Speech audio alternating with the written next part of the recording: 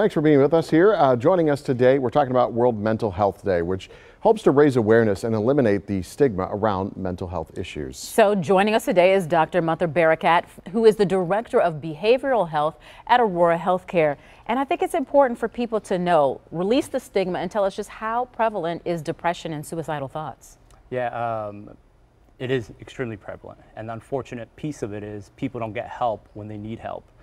Um, and, the, and our job is to kind of normalize getting help. And not only that, but equate getting um, help for psychological symptoms as you would for physical symptoms. Sure. So it's important then, I guess, as a family member or a friend or as a medical professional to talk with people about this and not make it something that you can't really verbalize. Right. Um, uh, when you see signs that, that indicate that a person isn't doing well, whether they're disengaging from uh, public life, whether they're not engaging in their normal activities. It's a good time to kind of check in with them, see what's going on.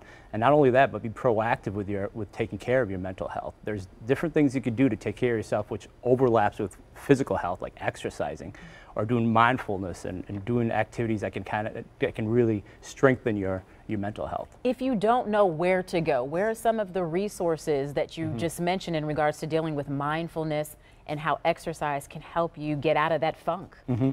A lot of that you can um, uh, you could talk to your people are less threatened to talk to their physician. Mm -hmm. They go to see their doctor. That's less threatening. That's less stigmatizing, and that's a good place to start. And ask your physician, and they can give you some advice, and they can assess you if you need um, more um, psychological services and make mm -hmm. appropriate referrals. Dr. Barakat, we always appreciate you coming here and tearing down the stigma. Uh, no problem. Thank Thanks you for, for having me. All right. If you want more information about how to spot warning signs for mental health issues or how to get help yourself, visit our website tmj4.com/links.